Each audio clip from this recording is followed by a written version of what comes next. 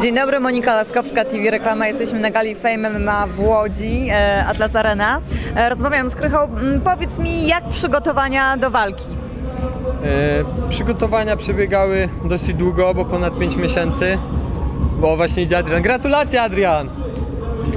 Pięknie! Zapraszamy do nas. Nie wierzyłem w ciebie, dobra, nie wierzyłem teraz sorki. Idź odpoczywaj. E, Wracamy do rozmowy. Przygotowania trwały 5 miesięcy. Tak. E, Miałeś trenera swojego? E, Przygotowywałem się w Czerwonym Smoku, głównie pod okiem Bartosza Jezierskiego, e, trenera Biskupa od MMA jeszcze trenera Piotra Kopiboksuj. Indywidualnie pod okiem e, Wojciecha Pająka, tutaj sparring partner brazylijskiego jiu-jitsu Noji Gamrota. No i w gronie przyjaciół. Sztab miałem naprawdę bardzo taki wysoko postawiony, na pewno czołówka Polski. Dziękuję. Gratulacje są. E, Mamy już sporo fanów, masz sporo fanów. E, Puchar jest, proszę pochwalić się, nagroda w kieszeni, czyli tren, trening był naprawdę bardzo intensywny i bardzo dobry.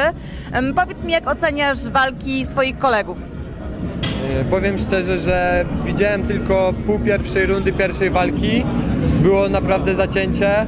E, Wiewióra z Hasanem. E, Więcej nie widziałem tutaj końcówkę ostatniej rundy Polaka z Don Casio. Także ciężko jest mi cokolwiek powiedzieć.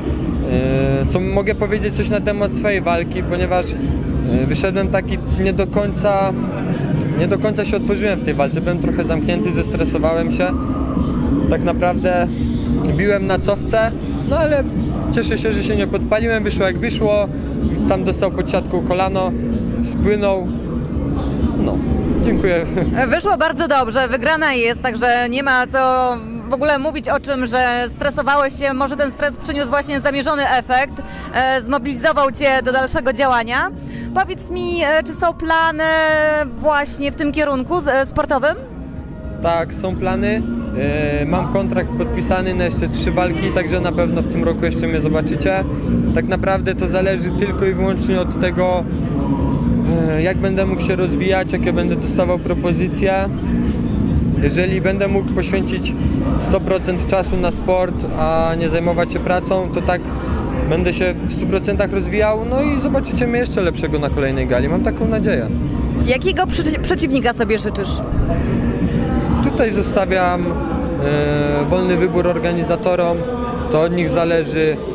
Dla mnie jest istotna tylko kategoria wagowa, żeby było to 77 kg, maksymalnie do 80 w takiej kategorii się biję i w takiej kategorii zamierzam się bić, nie schodzić niżej, nie wchodzić wyżej. Także nie mam jakiegoś, nie mam takich osób, które naprawdę chciałbym jako przeciwnika. Chciałbym po prostu kogoś wymagającego i tyle.